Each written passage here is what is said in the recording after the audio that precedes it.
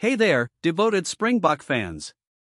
South Africa's lock powerhouse Eben Etzebeth has unfortunately been sidelined for a period of 7 to 10 days due to a shoulder injury.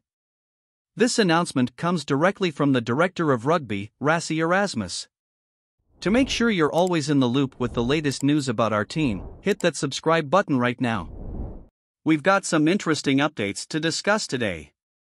Let's dive right in.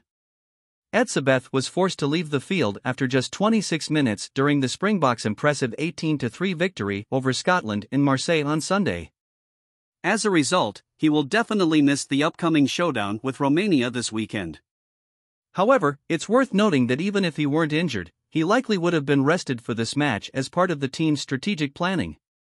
The good news is that the Towering Lock is expected to make a triumphant return for a highly anticipated Rugby World Cup Pool B clash with Ireland on September 23. This matchup promises to be a heavyweight contest between two of the world's top ranked teams. Rassie Erasmus emphasized the importance of the upcoming Romania match, not only in terms of securing a victory but also as an opportunity for the team to refine their performance and gear up for the challenge that Ireland poses.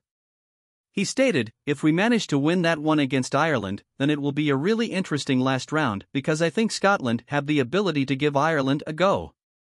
The good news continues, as South Africa has no other injury concerns within their squad following the physical battle against Scotland. So, the big question is do you believe Etzebeth will make a full recovery in time for the crucial game against Ireland? Share your thoughts in the comments section below. And, of course, remember to subscribe to our channel for all the latest Springboks news.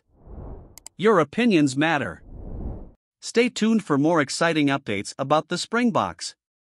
We'll be back soon with more news.